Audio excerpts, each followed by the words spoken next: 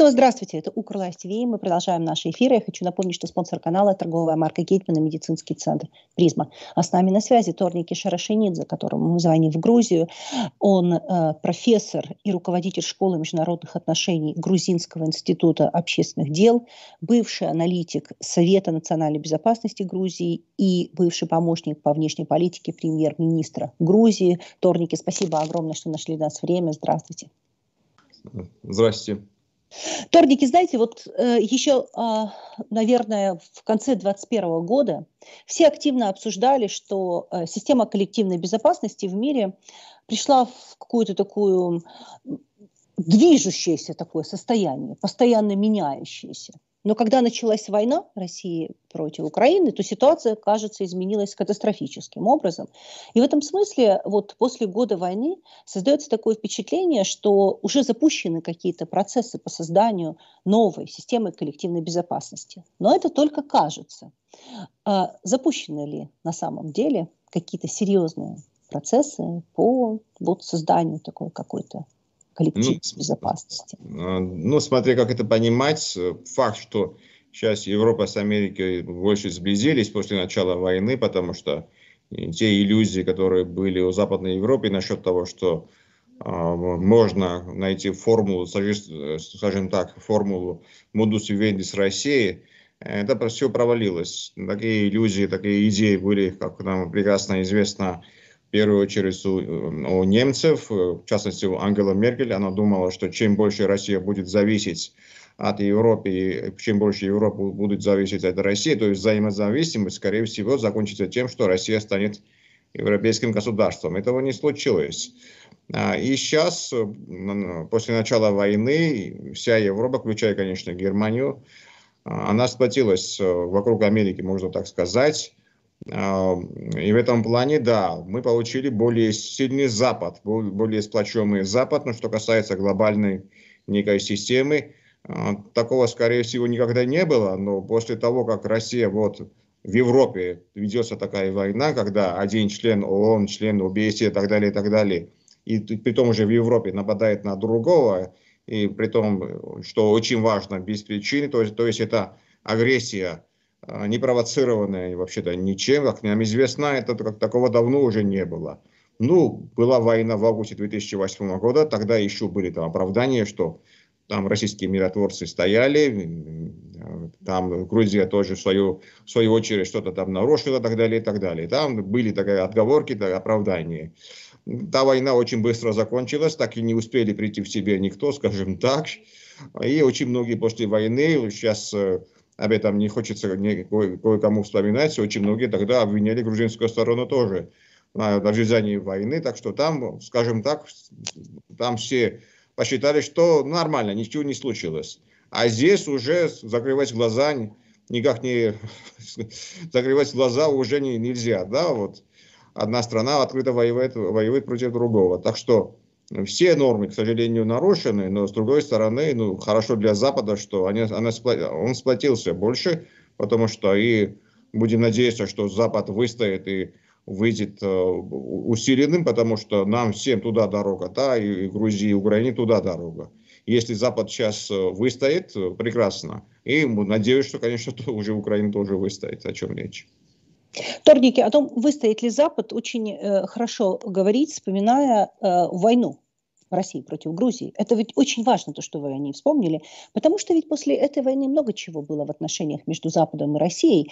И в этом смысле, э, вот как вам кажется, если мог ли тогда Запад поступить по-другому, да, э, в отношении России после войны, России против Грузии. Вот если бы он поступил по-другому, если бы не было этой перезагрузки, э, может быть, ситуация была бы сегодня другой, или все-таки нет? Как вот вы это оцениваете? Вы знаете, это как бы анализ ошибок. Он, он сделан, не сделан, вот пока же до конца так и непонятно. Наверное, наверное все было бы по-другому, но э, шансов на это, наверное, просто не было так, таких шансов, потому что в первую очередь нужно вспомнить, что тогда происходило на Западе.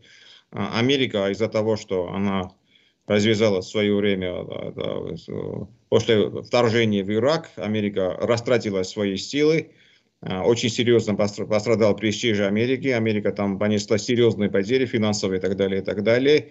И что еще очень важно, Америка когда-то потеряла, скажем так, моральное превосходство и потеряла, потеряла поддержку со стороны немцев, со стороны французов. То есть тогда было утеряно э, единство, единство Америки с Европой, тогда было утеряно из-за из компании Вира, которая, конечно, компания Вира, конечно, была ошибочной.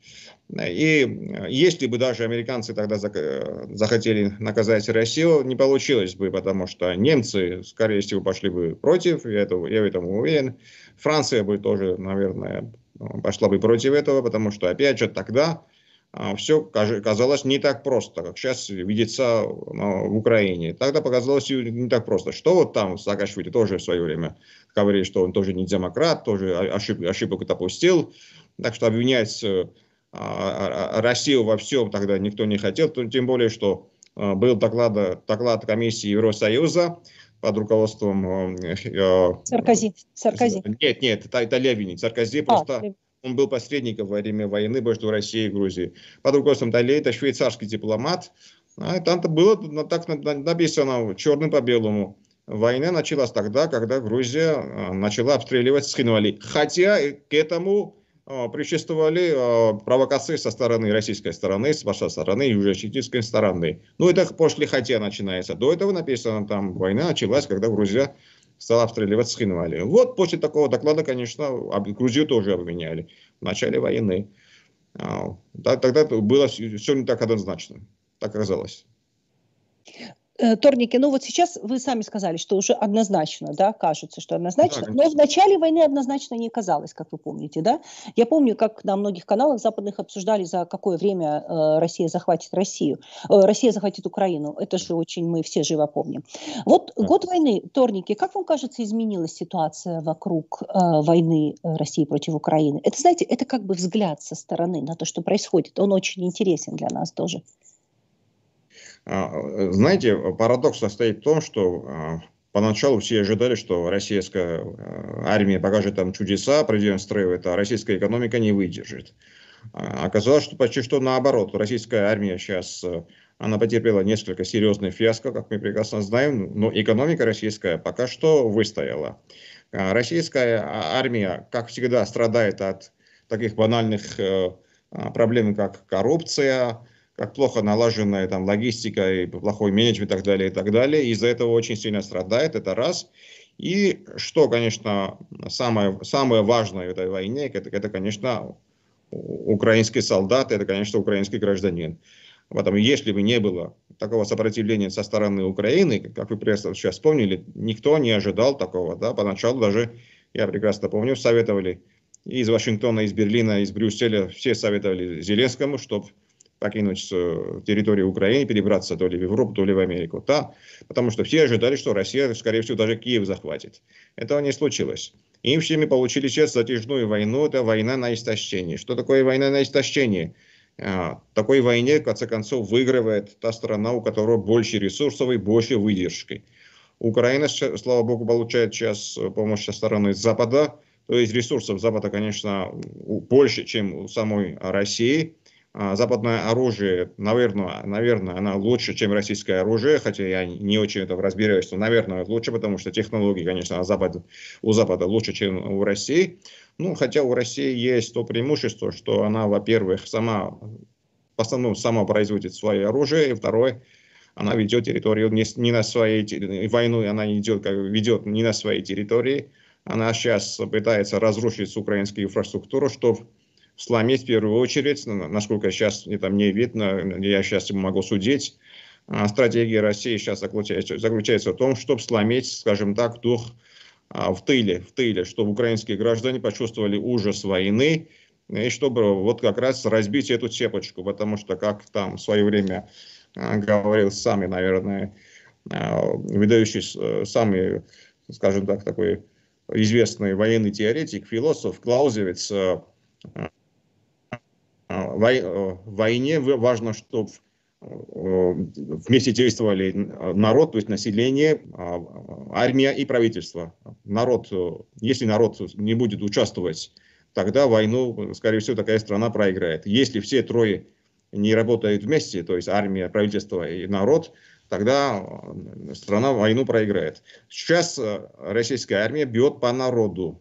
чтобы сломить дух народа, в первую очередь. Пользуясь тем, что война ведется на украинской территории. Э, Торники, как изменилась э, ситуация на постсоветском пространстве э, вот э, за этот год войны? Вы ощущаете, что произошли какие-то э, значительные изменения или еще рано о чем-то говорить? А, произошли. Тут очень э, важно было, наверное, реакция со стороны Казахстана, например, было очень интересно. Казахстан явно, скажем так, не занял позицию России. А, в, наших, в нашем регионе тоже сейчас идут очень интересные события, потому что а, здесь чувствуется очень сильно, скажем так, ослабление позиции России, потому что Россия сейчас, конечно, ну, не до Южного Кавказа, и этим пользуются прекрасно и Азербайджан, и Армения. Они сейчас а, иногда пытаются договариваться, иногда Азербайджан сейчас демонстрирует свою силу. А что касается Грузии, Грузия занимает очень осторожную позицию. Ну, это можно, скажем так, объяснить это можно, потому что мы уже два раза воевали с Россией, не только в 2008, но еще в 1992 году. Тогда Россия не объявляет официальную войну против абхазских сепаратистов. Воевали там не только там казаки, тут не только северокавказцы, но еще воевала ну, воевали, там была и российская авиация, и российские регулярные части, в том числе и «Дикие гуси», это элитарная часть российских войск. И в конце концов э, нашим войскам пришлось отступить, и мы потеряли контроль над Абхазией, получили огромный поток беженцев. Тогда Россия против нас на самом деле воевала, на самом деле. Хотя сейчас об этом никто не вспоминает, потому что это были ранние 90-е. Тогда Грузии, к сожалению, не очень интересовались ни на Западе, ни нигде. Тогда, в ранних 90-х, а, весь бывший Советский Союз, а, ну, кроме, конечно, Прибалтики, а, остался в сфере влияния России, включая Грузию. Вот тогда, значит, про нас ни слуха, ни духа не было в, в мировых СМИ, да, вообще не было такого.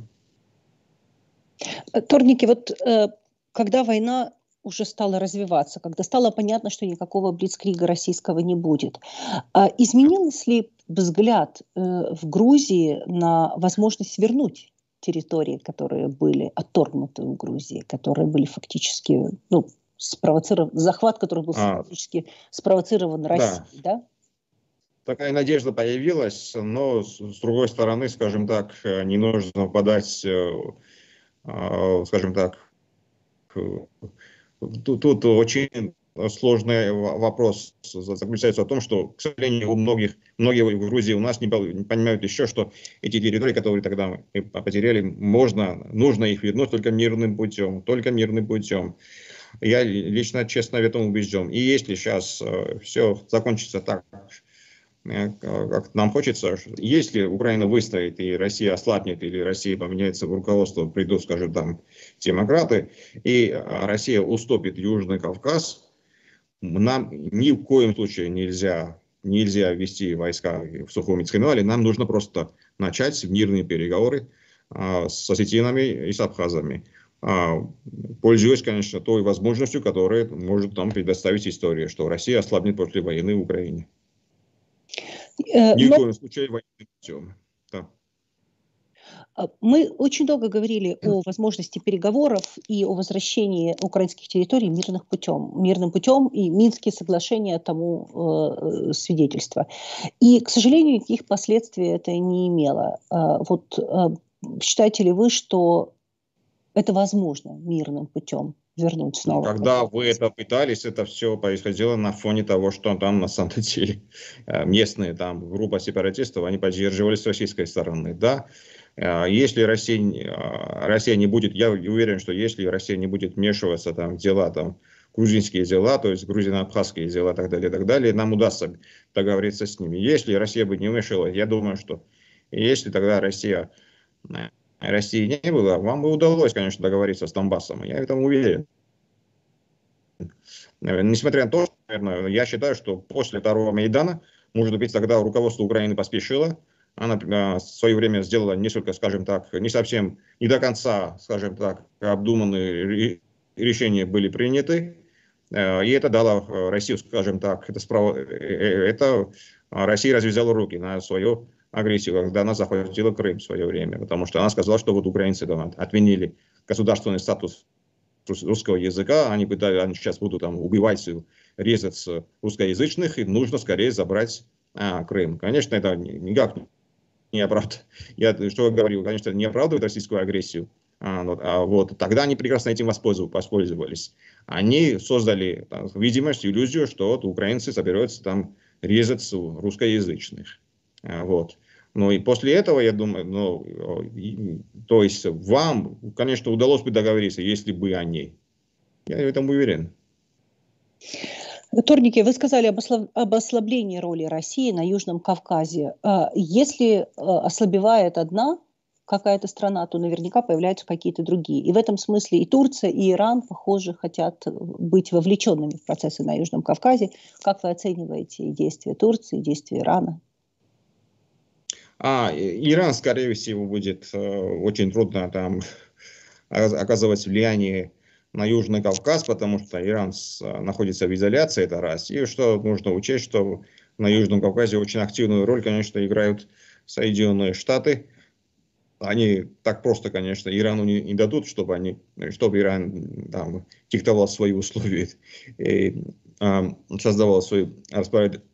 простите, диктовала свои условия. Тут нужно учесть, конечно, влияние в первую очередь Турции после России, потому что Турция это сильный региональный игрок, который никак не находится в изоляции. Турция сейчас ведет, как мы видим, очень активную дипломатию. А, она является посредником между Киевом и а, Москвой. Это очень интересно. Кстати, это говорит о возросшей роли Турции. А, Турция занимает очень ключевую географию география Турции является ключевым, скажем так, и, и при том это член НАТО. Это не нужно, нельзя об этом забывать, конечно. Это очень важный игрок. А, Иран, как я сказал, в меньшей степени. То есть, если сейчас по нумерации, а, по нумерации, конечно, это в первую очередь а, Америка, Россия и Турция.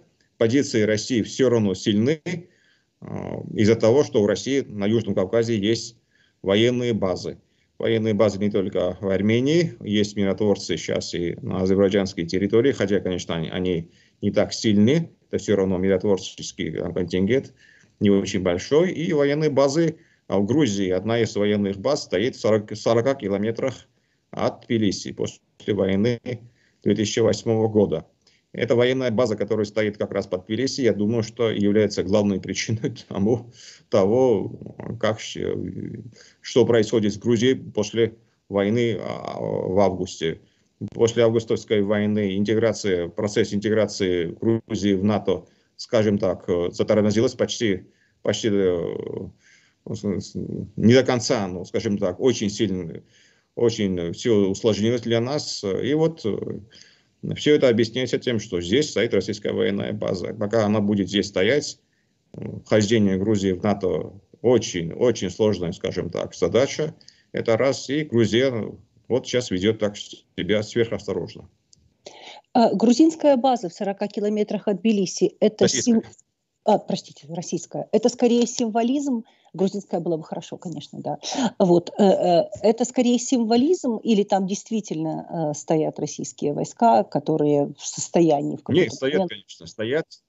А из них, я не знаю, процентов может быть 20-30 насколько мне известно, бросили на украинский фонд.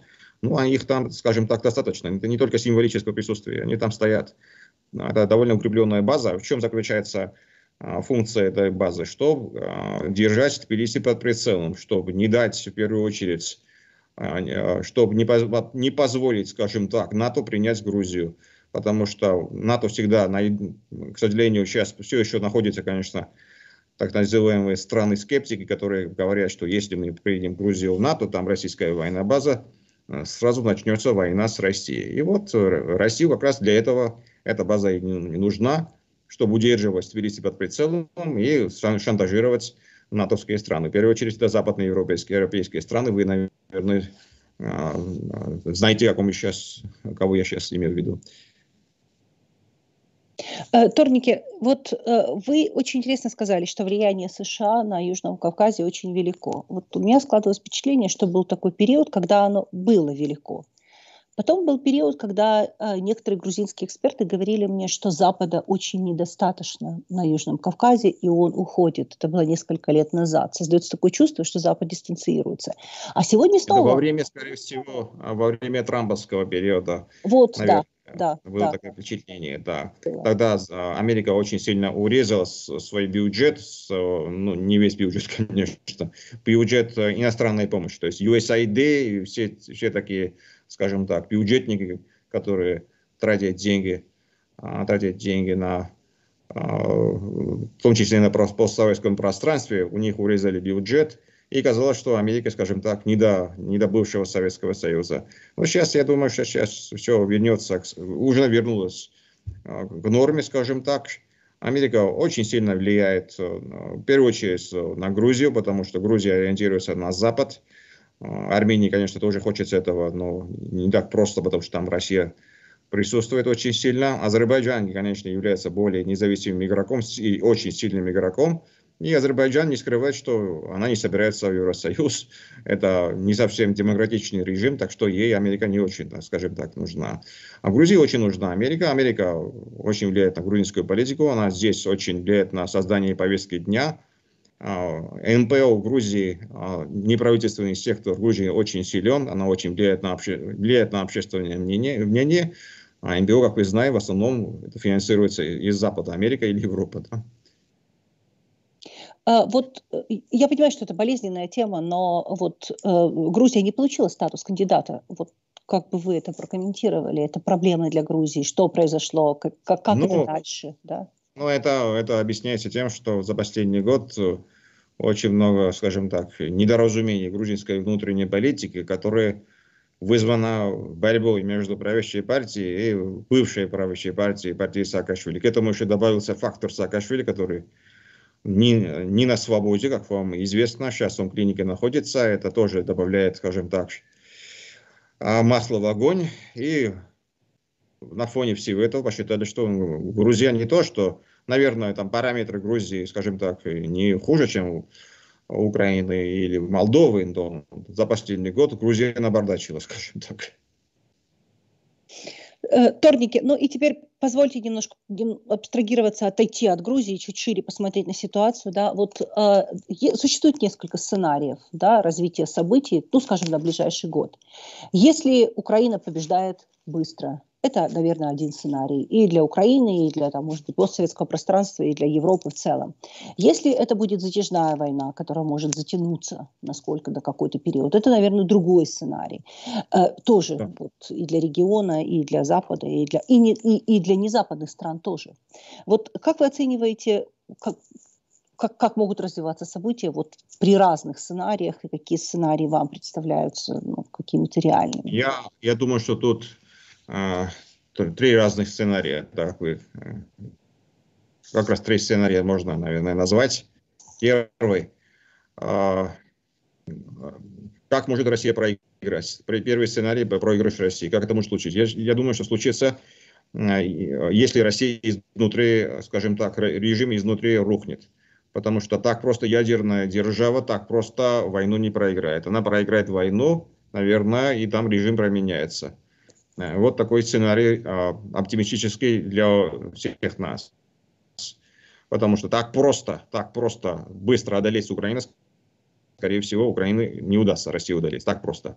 Другой сценарий – затяжная война, затяжная война, и потом Украина то ли сама вернет территорию, то ли опять же после затяжной войны российский режим а, изнутри рухнет. Ну, конечно, есть еще, к сожалению, третий сценарий, о котором сейчас мне не хочется никак говорить. Ну, такой шанс, конечно, тоже есть такой, вероятность тоже есть для, То есть для плохого хотите... сценария. То есть вы хотите сказать, что я его назову, да? Вы хотите сказать, что Россия может выиграть? Да, и такой плохой сценарий возможен, если Запад рухнет. То есть, если Запад не выстоит, если Запад не будет продолжать снабжать Украину, потому что, к сожалению, Украине приходится сейчас в основном завозить оружие, в отличие от России, и в этом Украина, э, конечно, зависит от Запада. Если Запад сейчас выстоит, скажем так, целый лагерь, тогда все будет хорошо. Если нет, тогда третий сценарий, конечно, возможен. Торники, а как вы думаете, Запад выстоит или нет? Ну, пока что она прекрасно держится, я скажу. За, на Западе все решает, в конце концов, общественное мнение, потому что там, ну, демократии, правительство, даже если им очень захочется там мириться с Россией, если общественное мнение будет а, за правое дело, никто на это не решится, на такое, на применение с Россией. Так что ну, я думаю, что пока этого не, это не грозит, пока хотя бы не грозит. Э, Торники, но еще позвольте я вернусь э, вот э, к общей такой системе коллективной безопасности. Я помню, когда Байден пришел к власти, он сказал, что теперь мир будет делиться, и главное противостояние будет между демократическим миром и авторитарными странами. И вот если посмотреть сейчас на ситуацию, которая вокруг войны России против Украины складывается, то можно увидеть оси, которые формируются, да, там Россия, Иран, там Северная Корея, там как, какое-то укрепление Запада. И вот в этом смысле а, это очень сложная схема. Угу. Это очень сложная схема, ведь э, это предполагает, что мир должен быть поделен на черное и белое, но так же не бывает, правда? И в этом смысле очень интересно, что ждет регионы. Вот регионы, которые ну, ну, собственно говоря, такие, как постсоветские страны, потому что они по-прежнему остаются в серой зоне безопасности, и до сих пор непонятно, что будет. Конечно, Запад помогает нам оружием, но ведь Запад не говорит, что завтра вы станете членом НАТО, и вам он не говорит, что вы завтра станете членом НАТО. То есть вот вопрос с этой серой зоной безопасности, он же так и не решен. И в этом смысле очень интересно, как вы думаете, видите ли вы формирование двух этих лагерей, и что делать вот с теми, кто еще ни в один из лагерей не входит? Да, а, это очень болезненный вопрос, потому что как бы не, не сейчас Украину, слава богу, оружием, они не примут Украину в НАТО, потому что это для них означает прямой конфликт с Россией. А на это не пойдет никто. Та, та же общественное мнение на Западе, которое сейчас поддерживает а, Украину из-за а, снабжения Украины оружием, конечно, будет резко против этого. Так что пока что мы находимся не в той зоне, где нам хочется. Если там Запад укрепился, НАТО сейчас укрепился и так далее, и так далее, те, кто оставаются, остаются за, за пределами НАТО, западной коллективной системе безопасности, пока что ничего, скажем так, пока ничего хорошего нам не светит. Если вот посмотреть на Южный Кавказ, здесь э, очень интересная ситуация. Азербайджан является сильным игроком. У Азербайджана там а, двусторонний альянс с Турцией. На территории Армении российская военная база а, защищает Армению, саму Армению, не Карабах, но саму Армению защищает. А у Грузии нету ни американской базы, ни членства НАТО, вообще ничего нету. Альянс у нас ни с кем, в отличие от Турции, у нас нету такого э, сильного покровителя, как Турция есть у Азербайджана. У Грузии вообще никого нету.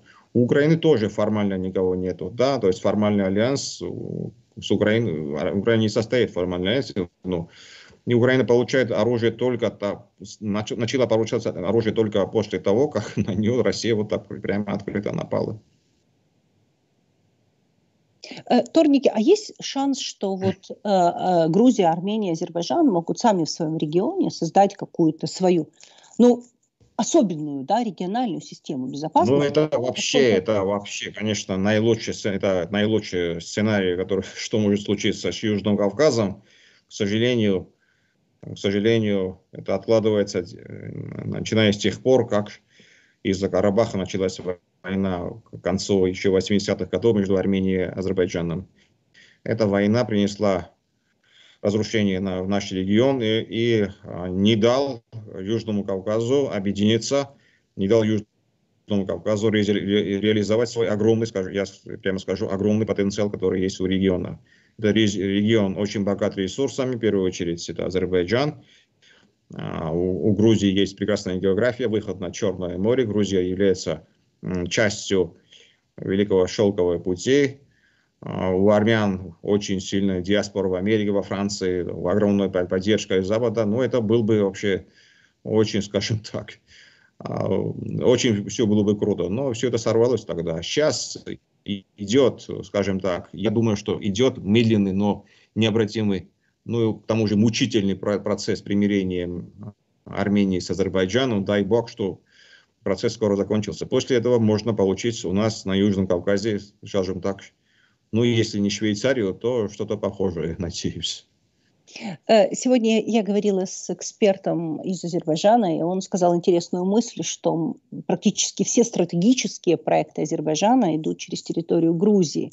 Да. Это, вот, это вот я к тому, что э, ну, вот экономика, она, наверное, как способ объединения. Не знаю, как, как бы вы это оценили. Насколько экономика а, вот, может в этом смысле быть в помощь всей этой ситуации? Или всегда найдутся игроки, которые вмешаются, и тогда уже по-другому? Да, если, если бы удалось вовлечь Армению в такие глобальные проекты, как, например, а, Баку Тбилиси Ирзерум, это а, газовый pipeline, извините, как pipeline, труба, да? Э, газопровод. Газопровод, газопровод, газопровод конечно. Да. Газопровод, который сейчас уже снабжает и Европу, там, Грецию, Грецию, Италию, так далее, Италию, так далее, и так далее.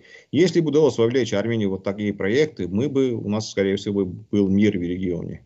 Я надеюсь, что к этому все идет, потому что на самом деле э, кратчайший путь, скажем так, э, кратчайший путь лежит через, а, а, из Азербайджана на Армению. А, вот. Если бы через Армению тоже построить такие трубопроводы, было бы прекрасно, почему нет? Если получить тогда а, какую-то там а, единую инфраструктуру, которая помогла бы очень э, объединиться, и Южному Кавказу еще помогла бы снабжать Европу газом, нефтью и так далее, и так далее. Грузия находится на этой стороне Черного моря, как вы прекрасно знаете, а Европа находится на той стороне, но сейчас Грузия ну, частично, скажем так, через территорию Грузии снабжается Европа газом. Это очень актуальный вопрос с тех пор, как началась война. Европа поняла, что нужно отвязываться от российского, отказаться от российского газа, потому что, во-первых, это не очень надежно, во-вторых, этим самым, конечно, Европа будет финансировать российскую войну сейчас, да, российскую агрессию. И сейчас Грузия получает шанс, чтобы играть более важную роль, как транзитная страна, а, Азербайджан скорее сейчас начнет наращивать объемы а, газа, которые пойдут через Грузию в Европу. Это раз. Уже а, не началась еще, но проект уже утвержден. Будет строиться электронный кабель на дне Черного моря, который будет снабжать электроэнергией Европу, который будет кабель будет идти из Азербайджана на территорию, через территорию Грузии на Черное море через Черное море в Европу. То есть Грузия получает сейчас шанс. А, шанс получает Грузия, чтобы стать более важной страной для Европы. То есть не находимся, не совсем, э, мы находимся не совсем в Европе из-за географии, но туда стремимся как раз благодаря таким проектам, как там трубопроводы, кабели и так далее, и так далее. Торники, спасибо вам огромное. Спасибо, что нашли для нас время. Мы вам очень за это благодарны. Спасибо большое. Большое спасибо. Торники Шарашинидзе был сегодня с нами на связи, за что мы вам страшно благодарны. И, конечно, признательны вам, наши спонсоры на платформе Patreon. Оставайтесь с нами.